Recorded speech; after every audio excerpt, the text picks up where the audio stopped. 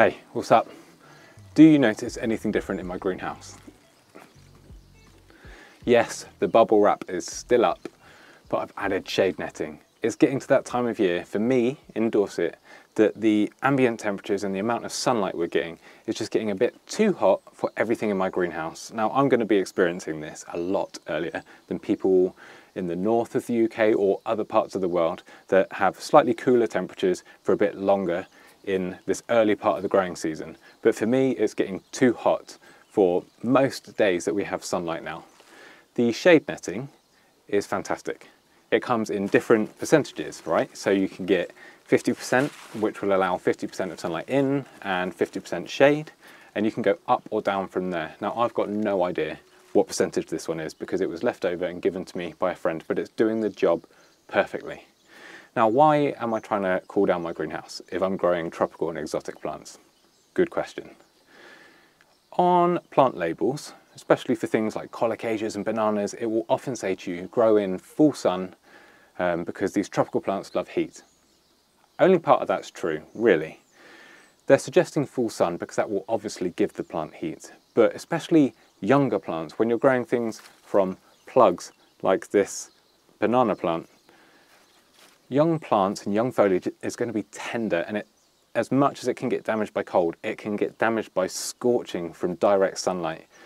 So shade netting is going to just diffuse that light, but because we're in an enclosed space, which is just made out of glass, greenhouses, it's going to heat up really quickly. So now we're getting that heat without that damaging direct sun. And that's the trick. And for me, I found that all of these big leaved tropical plants absolutely thrive in partial shade. I find that they'll put out much bigger leaves because they're trying to increase that leaf surface area to get more sunlight, more photosynthesis, and then they'll grow more and more and more.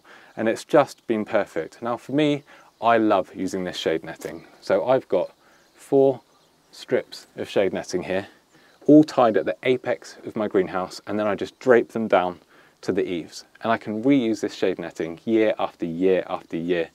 It's much better than that white paint that you can buy painting your greenhouse to diffuse the light coming in because you've got to spend time doing that and washing it off.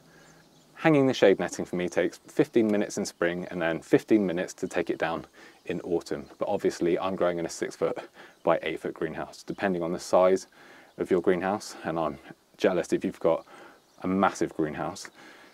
It may take a bit more time.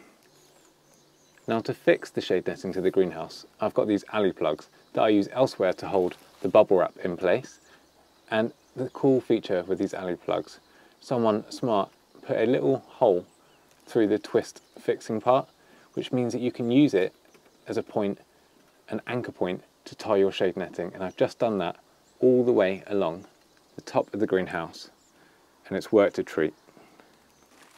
Now, even with the shade netting, it can get too hot in the greenhouse, but it's fine because, let's move the camera up, I've got roof vents that automatically open when it gets too hot. Obviously I've got the door open at the moment and I've got bottom louver vents which I can open in the height of summer that will not only cool the temperature down but it's going to increase airflow and we'll get a nice current of air going around the greenhouse to give fresh air to all of the plants.